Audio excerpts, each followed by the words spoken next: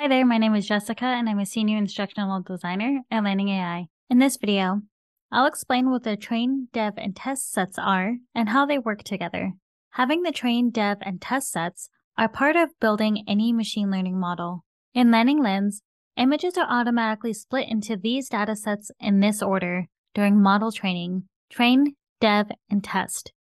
After you've trained a model, you can filter to see which images are associated with each dataset. Each dataset serves a different purpose. The train set trains the model, allowing the model to learn the patterns of those images and make predictions. The dev set validates the model's predictions and fine-tunes its performance. This dataset helps prevent overfitting, which is when a model simply memorizes the pictures and doesn't understand what characteristics to look for when identifying objects of interest. The test set assesses the performance of the trained model by evaluating its predictions on unseen examples. Training a model is kind of like studying for an exam. Imagine a model is like a student.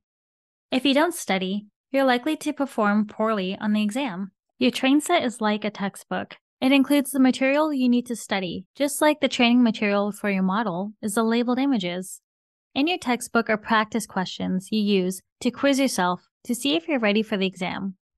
Your dev set is like a group of practice questions. They help you identify concepts you're struggling with and help ensure you're not just memorizing the material, but understanding it more broadly to avoid overfitting.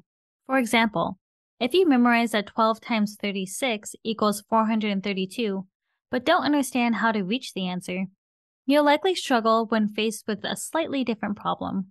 Similar to how you check your progress with practice questions, your model uses the dev set to see if it's learning correctly.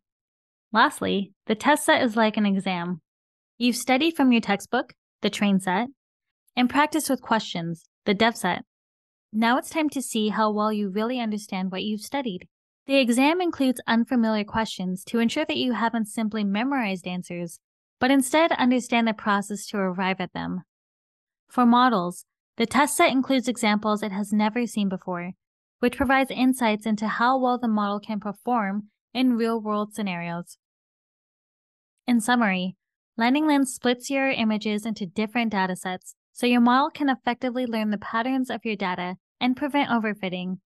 As a reminder, the train set is used for teaching your model, the dev set is used for practicing and fine tuning, and the test set measures its ability to make accurate predictions on new, unseen examples. Visit the Landing AI Support Center and community for more information.